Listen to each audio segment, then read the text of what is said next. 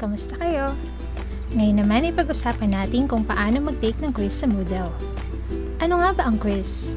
Ang quiz ay isang self-checking task kung saan kadalasan ay makikita mo agad ang iyong grade pagkatapos ng isang attempt.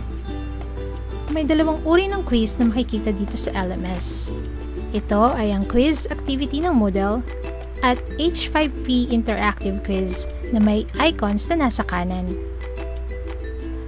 Paano nga ba uli mag-quiz sa Moodle? Magtungo tayo sa ating course page at hanapin ang quiz task na itinakda ng iyong guro. Ito ay maaaring may green icon na may nakalagay na H5P o isang red icon na may tatlong guhit. Kapag kinlik mo ang link sa quiz na ito ay mapupunta ka sa quiz page.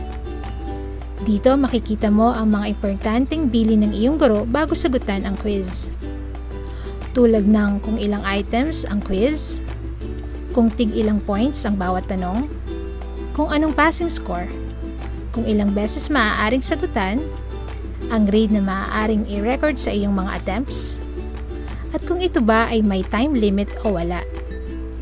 Sa halimbawang ito ay mayroon tayong time limit. Maaari mo din itong makita kung kailan magbubukas at magsasara ang quiz na ito. Kapag ready ka na mag-take ng quiz, ay i-click lamang ang Preview Quiz button or Attempt Quiz Now button. Ito ay magbubukas ng isang dialog box na magre-remind sa iyo na ito ay isang quiz na may time limit. I-click ang Start Attempt button at mapupunta ka sa page kung saan makikita mo ang quiz proper. Matatagpuan dito ang tanong at kung minsan ay ang mga pagpipili ang sagot, pang ilang tanong na ang iyong sinasagutan, kung ilang points ang item na ito, ang quiz navigation panel na nagpapakita kung ilang tanong ang nasagutan mo na, ang finish attempt link, ang countdown timer, at ang next page button magdadala sa iyo sa susunod na mga katanungan.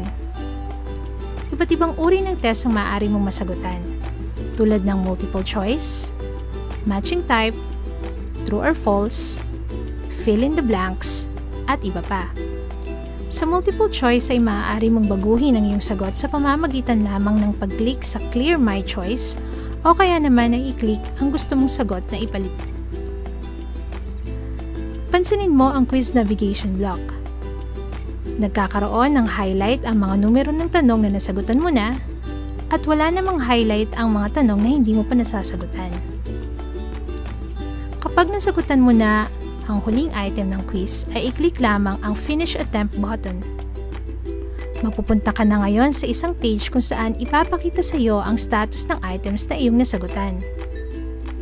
Kung may nais kang balikang tanong, ay i-click lamang ang Return to Attempt button.